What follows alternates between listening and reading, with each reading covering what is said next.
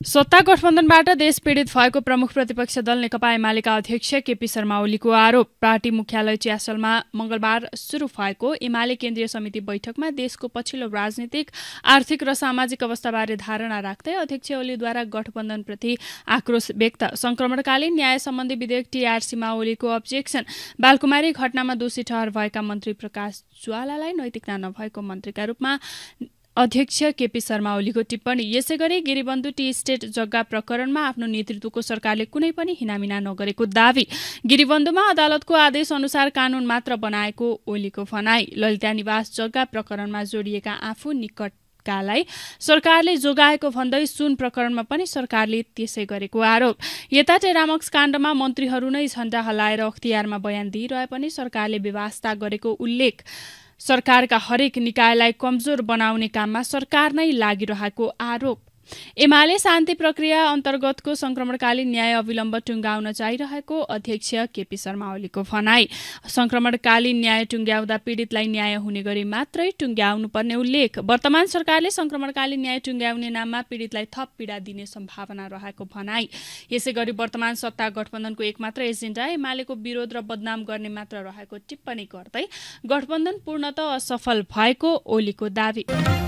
नेपाली काङ्ग्रेसका महामन्त्री विश्वप्रकाश शर्माद्वारा जारी महासमिति बैठकमा समसामयिक राजनीतिक प्रतिवेदन प्रस्तुत। अहिलेको गठबन्धन फरक मतको चुनौतीपूर्ण सहयात्रा भएको उल्लेख।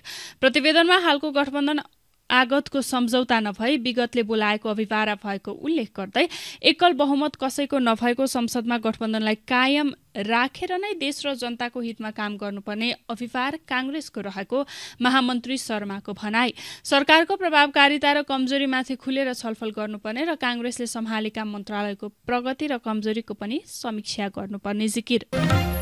भ्रष्टाचारको अन्त्य गरी सुशासन कायम गर्नु नेपाली काङ्ग्रेसको प्रमुख नीति हुने नेपाली काङ्ग्रेसका उपसभापति पूर्णबहादुर खड्काको भनाई। मंगलबार पार्टीको महासमिति बैठकमा पार्टीको नीतिगत प्रतिबद्धता प्रस्तुत गर्दै देशमा भ्रष्टाचारको अन्त्य हुने गरी सुशासन स्थापना गर्नु नेपाली काङ्ग्रेसको प्रमुख नीति भएको उल्लेख।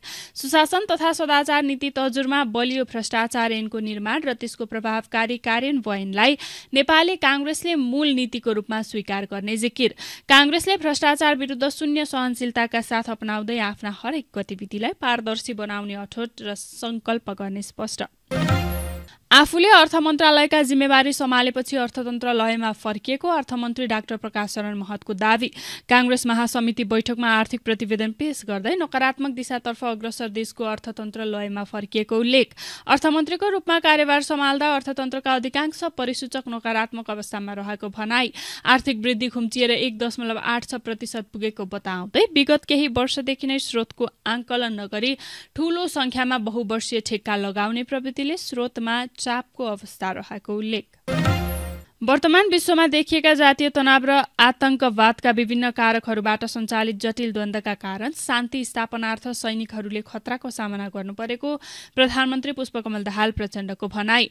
चौथो शान्ति प्रयास अभ्यासको उद्घाटन गर्दै बहुस्तरीय प्रकृतिका द्वन्द्वका विषयमा सचेत हुनुपर्ने प्रधानमन्त्री प्रचण्डद्वारा जिकिर। शान्ति स्थापना कार्यहरू जटिल राजनीतिक सैन्य मानवीय प्रयासका रूपमा विकसित भएको उल्लेख गर्दै शान्ति सैनिकले अझ धेरै बुझ्नुपर्ने र तयारी गर्नुपर्ने अवस्था आएको भनाई।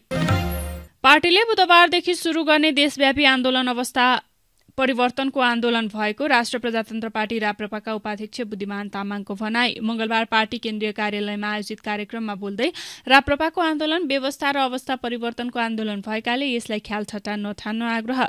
अन्य बेलाको जस्तो सरकार र सत्ता परिवर्तन महँगी नियन्त्रण जस्तो आन्दोलन नभएको बताउँदै पार्टीको आन्दोलन शान्तिपूर्ण र भद्र आन्दोलन भएकाले सबैले सोही अनुसार आफ्ना कार्यक्रम अघि बढाउन आग्रह। देशभरका मिटर ब्याजी पीडितहरूद्वारा न्याय नपाएको भन्दै न्याय मार्च नाम दिएर पूर्व पश्चिम पैदल यात्रा गरी आन्दोलनका लागि काठमाडौँ प्रवेश। फर्जी तमसुक चेकलाई अवैध घोषणा गरी क्षतिपूर्ति दिनुपर्ने समस्या समाधान गर्न न्यायिक आयोग गठन गर्नुपर्ने उनीहरूको माग।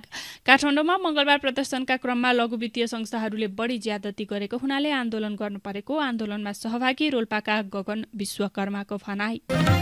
नेपाल राष्ट्र ब्याङ्कद्वारा सर्वसाधारणको निक्षेप पूर्ण रूपमा सुरक्षित रहेको स्पष्ट केही व्यक्ति तथा समूहले दिएको अभिव्यक्ति र दुष्प्रचारप्रति ध्यानकर्षण भएको भन्दै पछिल्लो अवस्था हेर्दा समग्र ब्याङ्किङ क्षेत्र सक्षम र सबल रहेको स्पष्ट। ब्याङ्किङ जस्तो संवेदनशील क्षेत्रप्रति सर्वसाधारणलाई भ्रमित गर्नु दुष्प्रचार गर्ने कार्यका पछाडि नलागि सम्बद्ध लगानीकर्ता निक्षेपकर्ता ग्राहक तथा सरकारवालालाई ठुक्कसँग नियमित रूपमा ब्याङ्किङ कारोबार गर्न ब्याङ्कको अनुरोध। निरन्तर ओह्रालो यात्रामा रहेको नेप्से सूचक मङ्गलबार पाउने दुई अङ्कले खट्न पुग्यो। मङ्गलबार एक दशमलव सात छ अङ्कले खट्दै दुई हजार तेत्तिस दशमलव शून्य छ अङ्कमा कायम। आज तीन अर्ब एघार करोड पैँतिस लाख छप्पन्न हजार रुपियाँ बराबरको सेयर दोस्रो बजारमा कारोबार।